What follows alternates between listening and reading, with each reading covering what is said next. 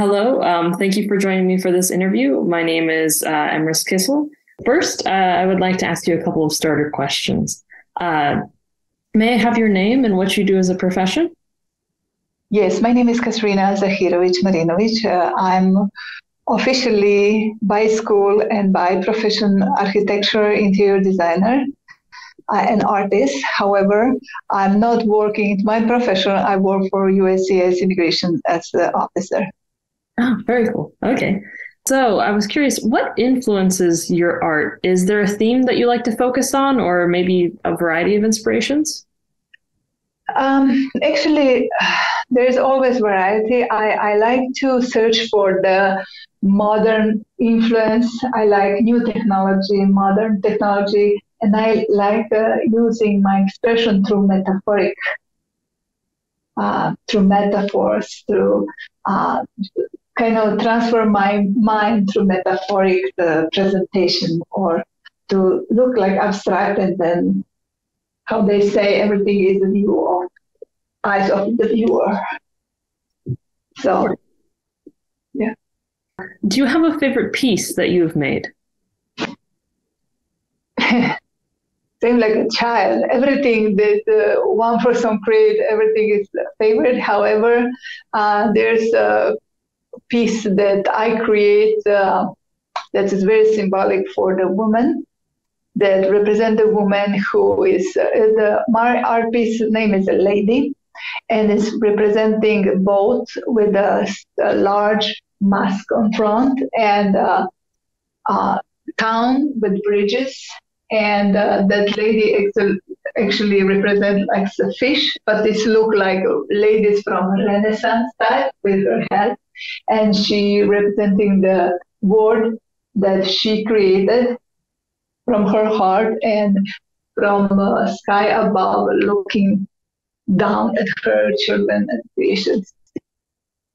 Uh, what inspired you to become an artist? Um, actually, it, it's hard to say because I I have been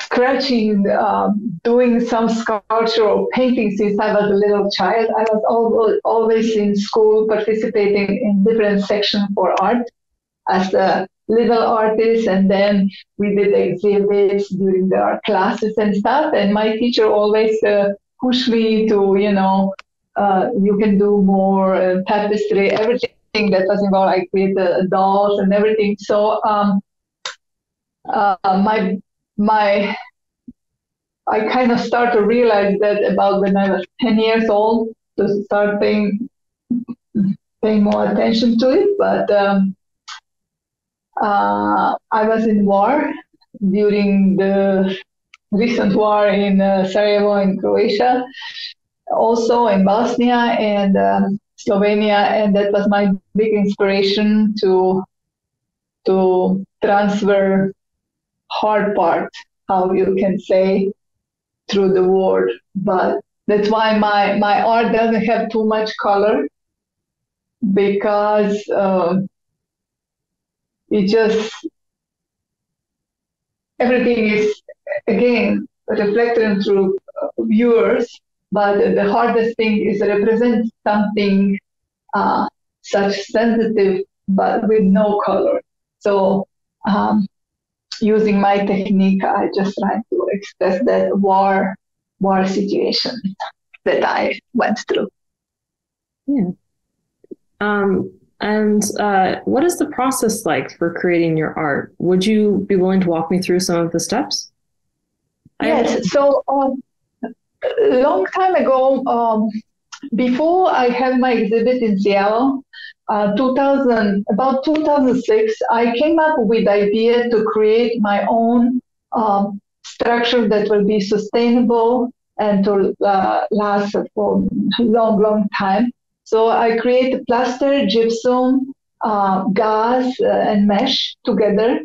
And I start to create with my hand. That's how my art become like it's still staying there for 27 years and it never moves. It, it's just one of my techniques. So, for example, when I create a, a lady or that uh, piece that's called Family White Longwa.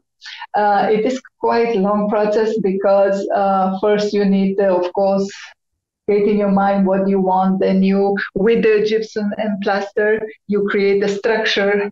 Um, then there's a drying process. Then there's the sanding process.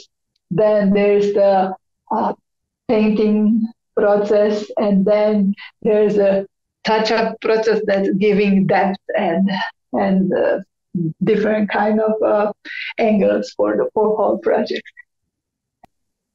Would you say? I think we've we've talked about this a little bit, um, but would you say being an immigrant has affected the way you create your own art? Um, yes and no. You know, you have that in yourself. When you're in good mood, you create something different, unrelated, like in everything else. When you're in good mood for eating spaghetti, you create spaghetti. When you want to have something glamorous, then you do something. And when you're in a bad mood, that the war and all that Golgotha come in the mind, and then I create something uh, which is not so happily memory wise, but